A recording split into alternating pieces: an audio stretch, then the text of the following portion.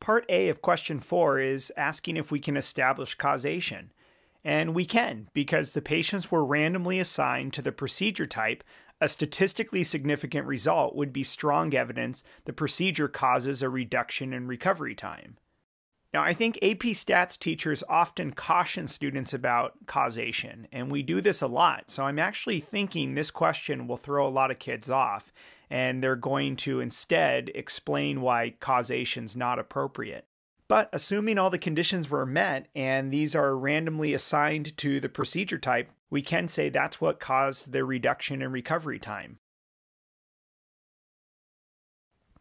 For part B, I'm going to do the four step process. So let's start with state. We wish to test the following hypotheses at the alpha equals 0.05 level. Our null is going to be mu substandard minus mu sub new equals zero. In other words, there's no difference between the true mean recovery time for the two procedures. Our alternative hypothesis is that mu substandard minus mu sub new is greater than zero. In other words, the standard procedure has a longer mean recovery time. And I'm also going to write where mu is the true mean recovery time in days for each procedure, just to make sure I've defined my parameters. In the plan step, I need to state my inference method. Now, since we're comparing means of two different groups, this is going to be a two sample t-test. So let's check the conditions. For the random condition, we'll say that patients were randomly assigned to the procedure type, so that condition's met. The independent condition is always a little tricky, and lately the College Board's grading rubrics haven't really included much addressing the independent condition. So, my best guess here is we must assume that each patient's recovery time is independent, but it might not be necessary to list that condition at all. The next one is essential the normal condition. Now, both the standard and the new procedure groups have sample sizes well above 30, so it's safe to use T procedures.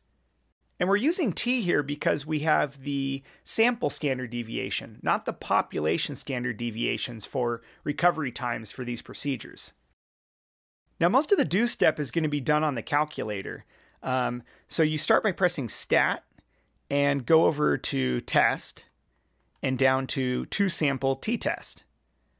Now, you have the option of inputting the original data, which we don't have, or the summary statistics, which we do have. So we actually have all this information.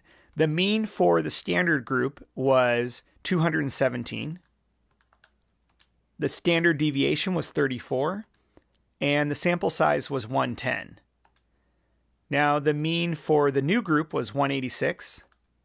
The standard deviation was 29. And the sample size was 100.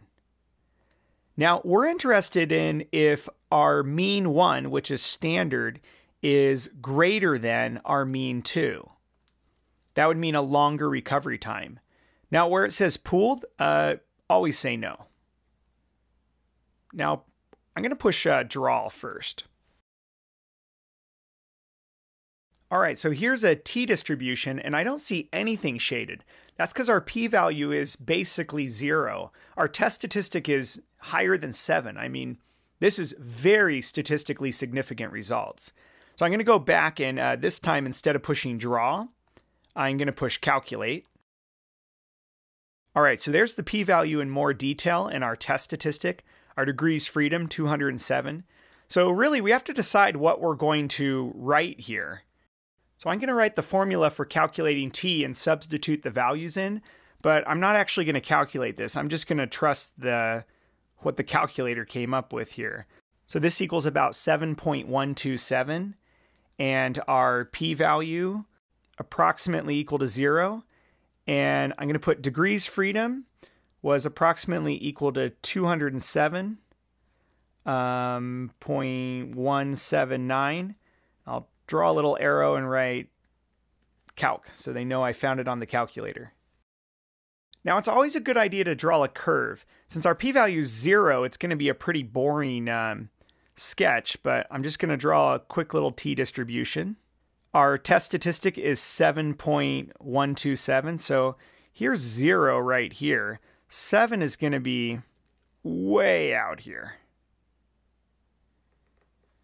Maybe it's like here.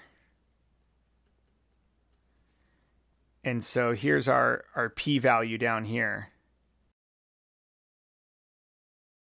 So for our conclusion, we'll say with a p-value of about zero, which is less than any reasonable alpha value, we reject the null hypothesis. There is overwhelming evidence to support the claim that the new procedure has a shorter true mean recovery time than the standard procedure. Now, going back to part A, that means there's strong evidence the new procedure results in a shorter recovery time. Now, that last line in the conclusion is because this was an experiment. We can actually establish causation. If you liked my explanation of this problem, you might also like my book, The Ultimate AP Statistics Practice Book. The book has 100 problems, and every one of them has a YouTube video that explains every single step.